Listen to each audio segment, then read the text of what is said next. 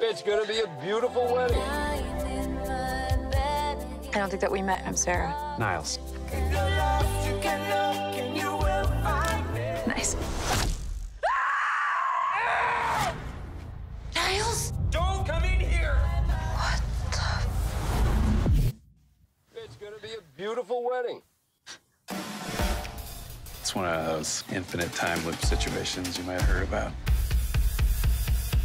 The second you fall asleep, it all just goes back to the start. Well, then what's the point of living? We kind of have no choice but to live. No, I'm gonna get out of this. See you tomorrow.